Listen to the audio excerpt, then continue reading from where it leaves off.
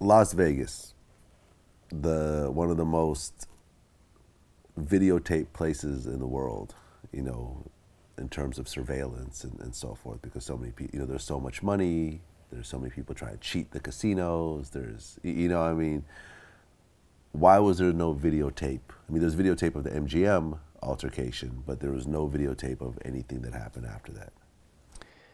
Keep in mind, you know, these are the, this is 1996. Uh, we look at it from a 2015 perspective. This is 1996. You know, the videotape surveillance is not as prevalent, um, especially out on streets. Uh, it's just, uh, you know, uh, it, it's not surprising at all that there isn't more video footage. We're lucky that we have what we have. And even with that, the MGM, with the best surveillance, you know, for that day, the best surveillance equipment available, and you see how grainy and uh, you know the low quality of what we do have. So that uh, you know that puts into perspective the times. And it's even um, at one point like it's even obstructed in terms of the, the MGM video. You know, they go behind like a pillar or something, and there's no there's no other camera, I guess. And yeah, so there's a big fountain there. Yeah. And uh, so you know, there's a there's a camera technician or an operator sitting in an office somewhere and he's looking at all these monitors and he sees something taking place and he's kind of joysticking in order to move the camera around. Oh, so someone's actually sitting there moving. This, this wasn't just a, a, sweeping camera. Someone's actually sitting there trying to find. That particular one. Then there's also, you know, kind of uh, still still cameras um, that are throughout the rest of the um, the MGM. And so when you look online and you watch the full MGM video, that's a compilation of a lot of different cameras all patched together. Gotcha. So, from your point of view, do you feel that Las Vegas PD dropped the ball, or do you feel that they, they just had such limited resources because of the non cooperation that they did the best they could? I think that Las Vegas wanted, like, like any other murder, you know, homicide investigators want to solve the case. Um, but when you're dealing with people that are either uncooperative or outright lying to you about uh, the information that they have, it makes it very difficult. And you can develop an attitude of, well, shit, if they don't give a shit about us solving the case, why should we? I'm not saying that that was the perspective, but it certainly is a perspective in law enforcement uh, among certain investigators is that if the people who are closest to our victim aren't willing to cooperate how far can we go with our investigation? What can we actually accomplish? You know, we weren't there, we didn't see it, and if the people who were there and did see it aren't really providing any valuable information, it's difficult to move forward. But this is an incident with international ramifications. Like this, Tupac uh, in 2015, most hip hop fans still consider him the best rapper of all time. This was a this wasn't just a random gang member who got killed in Vegas and you know it was just a random like it was just like a, a run of the mill kind of situation because this is what happens. This is Tupac the movie star the platinum selling artist the the you know the guy who's dating Madonna. Like you know what I'm saying? It's like it's at a very huge level at this point.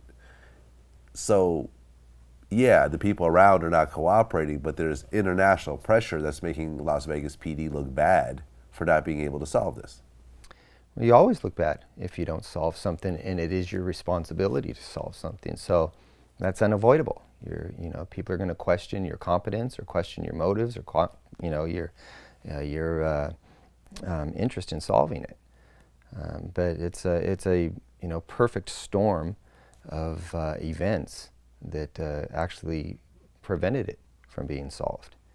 So yeah, I get that uh, that there's a lot of pressure and a lot of interest, um, but you have to deal with the information that's available.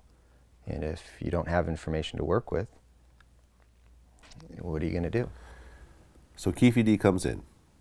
He testifies for hours with you guys. Based on what he's saying, is it all matching up? Yeah, it does. Um, we didn't just take his word for anything. You know, we know that uh, you know he's a he's a career criminal, uh, he's a gang member, and uh, that um, you know he's uh, going to have to be corroborated on every level in order to verify whether or not he's telling the truth. And everything he told us checked out from start to finish. And when you have that type of corroboration and you're providing that information under these very compelling circumstances that he was, um, you know, empirically, you start to recognize that it's truth. So after all of that, all of the uh, confessions that he gave you guys, what did that result in for him? It resulted in him getting away with murder. It resulted in him getting away with a, uh, a very serious federal drug offense. So, you know, he walked away from this thing um, basically unscathed. So they, you guys actually dropped your charges against him? We had never actually charged him. We just informed him of the potential charges that we had built, but we never charged him. Okay. So based on what he came in and said, the, the U.S. District Attorney agreed not to go forward with the charges That's against correct. Keefe That's correct. Remember, the entire objective of this task force was to solve murders. And if we have to, uh, you know, it's all, um, you know, it's all a matter of um, trying to reach that objective and that goal. And solving the murders was more important than um, you know, pursuing drug crimes. Had he not cooperated with you guys on the drug charges, because ultimately no one was being charged with the murder of Tupac. That's correct. But he was about to get charged with this PCP and drug ring mm-hmm. and cocaine ring. Had you guys gone forward with those charges and he got convicted in a court for those charges, how long would he have gotten in prison? Life. Life. So he, he was fighting a life, a life sentence essentially. That's correct. Why he life? would have gotten 25 because there's a minimum mandatory sentencing and because of his prior drug convictions and the amount of drugs that we would have charged him with and the crimes that we would have charged him with, he would have gotten 25 to life. And, uh, you know, that's when you're in your late 40s, you know, that's a, uh, essentially a life sentence. So he got away with, with all the drug charges essentially. So he was never charged. That's correct. So he go, comes in, he confesses to all this stuff. He implicates himself, but of course, by him testifying, that excludes uh, that that ex- excludes the confession from being used against him, right? That's correct. It's it's uh, almost like. Uh, almost like a limited immunity. Now, if other people came forward and we were able, able to gather evidence against Keefe D through other sources, he could certainly be charged. Under this agreement, he just couldn't be charged based on his own self-incriminating statements. So that's where the protection lied. He'd cooperate and we would take what he had to tell us and it wouldn't be used against him. However, we could take what he had to tell us and use it against anybody else he implicated, uh, but just not himself. Well, by that time, by the time he testified, Orlando Anderson was already killed. That's right. In an, an, unrelated kind of situation. I understand there was a shootout that happened over some money that was owed or whatever, and Orlando Anderson was killed. But Keefe D is actually testifying against other people in the car as well. Not testifying, but providing information. Providing information, yeah. He was providing information about other people that were in the vehicle. Now, if you're in the vehicle it doesn't matter. You can't say, yeah, I was there when they killed Tupac, but I looked the other way and I wasn't part of it. If you're in the car, you are now part of the crime. Is that correct? Not necessarily. I mean, you can claim that, hey, I was just driving and, you know, we, we went over to, you know, to confront these guys and out of nowhere, Orlando, you know, pulls out a gun and starts shooting. I didn't know he was going to do that. I mean, that could be a defense claim. Uh, it's not very reasonable, but certainly you could claim that. Um, but based on all the set of circumstances and all the information that we know, they were all uh, willingly and agreeingly, uh, you know, collaborating or conspiring to kill Tupac. By the time the Keefe D uh, gave you that information, Orlando was gone. What about the other two members in the car? Dre was already gone. Uh, he was in the uh, passenger seat behind the driver. How did how did he die? He died from natural causes, obesity and uh, health-related causes. And uh, Terrence Anderson, the driver, he just recently died. Uh, he was shot and killed inside of a marijuana dispensary in Compton. And uh, so now, When was this? just just recently, within the last couple months. Oh, So Keefe D's last man standing. but at the time that he testified, the driver was still alive. That's correct. Okay, so he goes and test. Oh, I'm, I'm sorry. He, he goes and gives information about the driver. Did you guys go and follow up with the driver? Unfortunately not. That's where law enforcement completely dropped the ball. Uh, we provided the information back to Las Vegas uh, about uh, Keefe D's confession uh, implicating Terrence Brown, the driver. Uh, Terrence Brown at this time is, you know, still criminally active in Compton, and uh, um, there was no proactive effort to put him into the same position that we'd put Keefe into, and that's build, you know, develop charges against him and bring him in, and you can use the confessions against one another. Um, but there was no proactive investigation after uh, we after we had acquired Keefe D's uh, confession uh, to pursue Terrence Brown. Could you have pursued Terrence Brown, or Las Vegas ha- had to pursue it? We could have in Los Angeles.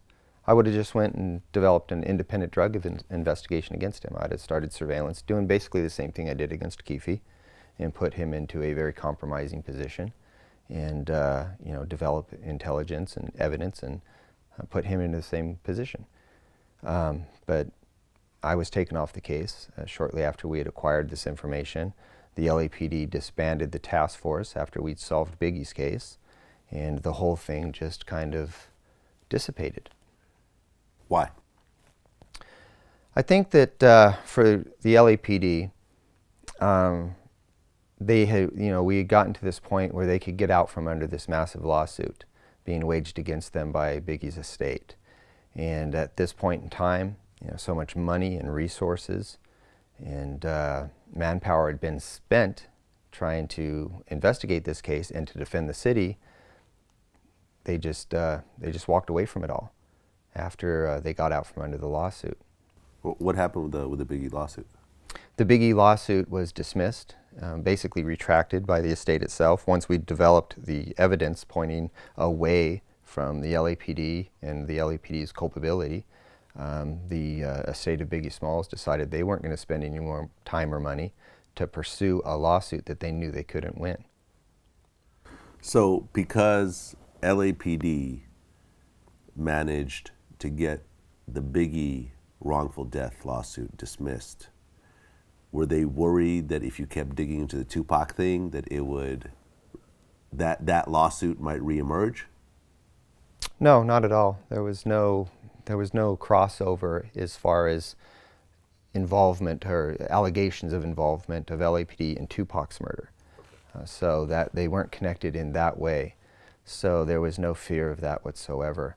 Um, the LAPD just decided to kind of let sleeping dogs lie and uh, walk away from it all after they've gotten out from under the lawsuit. They disbanded the task force, and uh, we told Las Vegas PD what we had, had discovered, and uh, left it up to them to pursue it.